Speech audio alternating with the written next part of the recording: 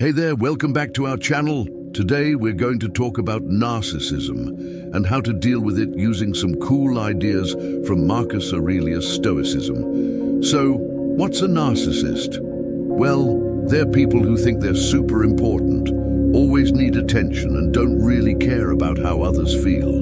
But what if we could make them face their own flaws and insecurities? Let's see how we can do that. But first, let's talk about Stoicism. It's an old philosophy that teaches us to control ourselves, be good people, and stay strong when things get tough. Marcus Aurelius, a famous Stoic philosopher, believed in accepting things we can't change, focusing on what we can control, and finding peace within ourselves.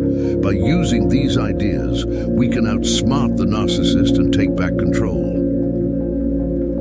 We just put indifference. The first way to torture a narcissist is through indifference.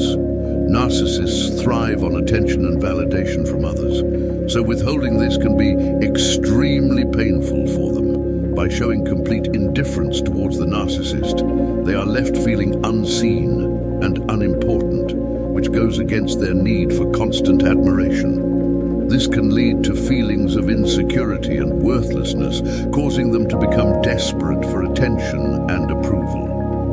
Indifference can also be a powerful way to undermine the narcissist's sense of superiority and control. When they are met with indifference, they are no longer able to manipulate or dominate others to get what they want.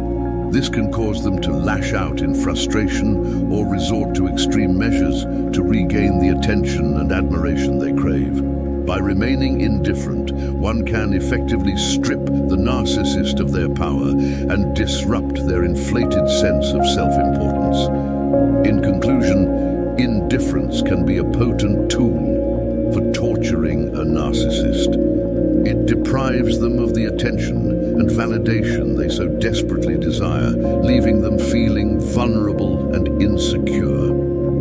By remaining indifferent, one can undermine the narcissist's control and superiority, forcing them to confront their own insecurities and weaknesses. Ultimately, indifference can serve as a powerful means of challenging and breaking down the toxic behaviors of a narcissist. Way 2. Reverse manipulation. The second way to torture a narcissist is through reverse manipulation. Narcissists are known for their manipulative behavior and constant need for admiration and control. By using reverse manipulation, the victim can turn the tables and manipulate the narcissist instead. This can be a powerful tactic in dealing with a narcissist, as it puts them in a vulnerable position and disrupts their sense of power and control. One way to reverse manipulate a narcissist is to play on their need for validation and admiration. By withholding praise and attention, the victim can create insecurity and doubt in the narcissist, making them question their own worth and importance. This can be particularly effective in breaking down the narcissist's inflated ego and sense of entitlement, forcing them to confront their own insecurities and vulnerabilities. Another way to torture a narcissist through reverse manipulation is to mirror their behavior back at them. For example, if the narcissist is constantly belittling and criticizing others, the victim can turn the tables and criticize the narcissist in the same way. This can be a powerful tool in showing the narcissist how it feels to be on the receiving end of their hurtful behavior, forcing them to confront their own flaws and shortcomings. Ultimately, reverse manipulation can be a powerful tool for dealing with a narcissist and breaking free from their toxic influence. Way 3. Setting boundaries. Narcissists thrive on manipulating and controlling others to get their way. By setting firm boundaries and sticking to them, you are taking away their power and control over you. This can be a powerful way to torture a narcissist as they are not used to being told no or having their behavior restricted in any way.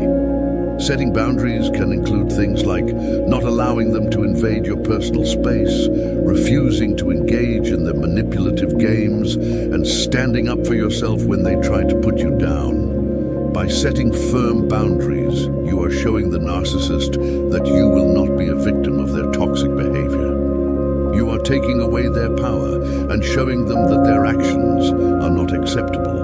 While it may be challenging to set boundaries with a narcissist, it is important to prioritize your own well-being and not allow them to continue to manipulate and control you.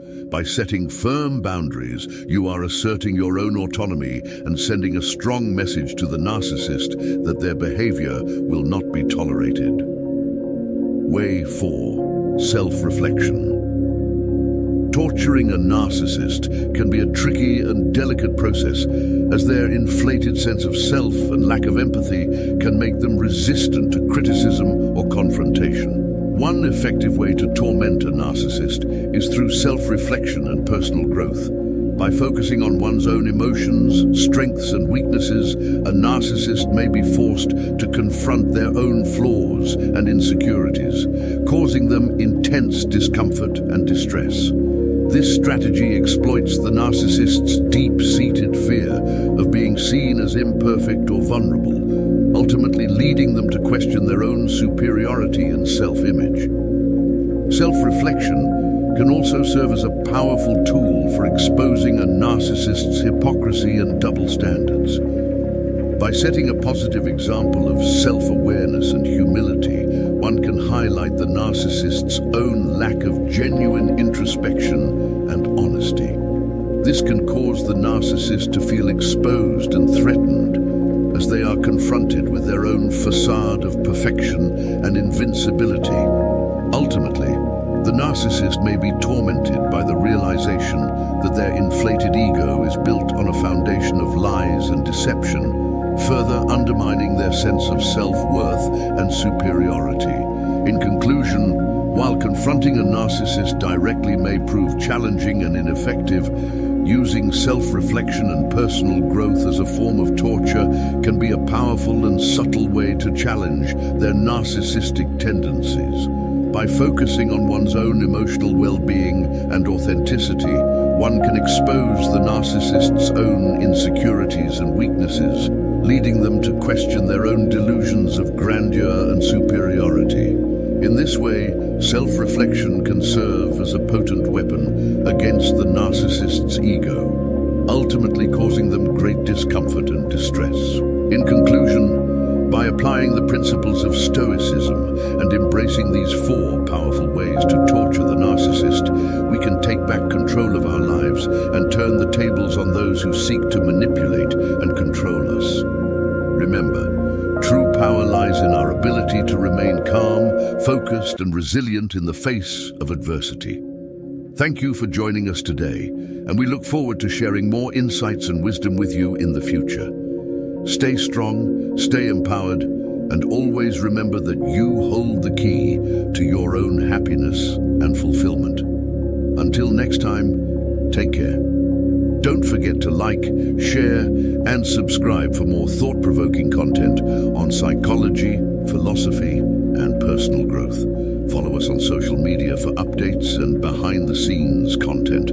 Thank you for your support, and remember to stay true to yourself and never let anyone dim your light. Goodbye.